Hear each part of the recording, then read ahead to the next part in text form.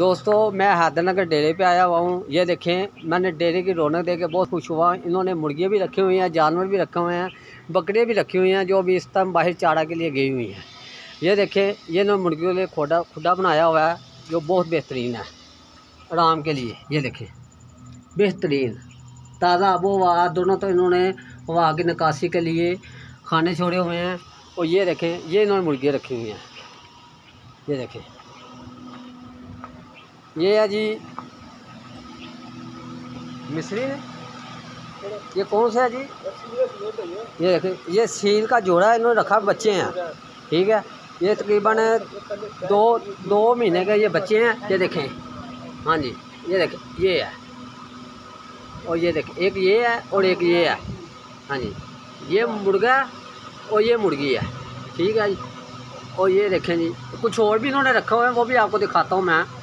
ये देखें।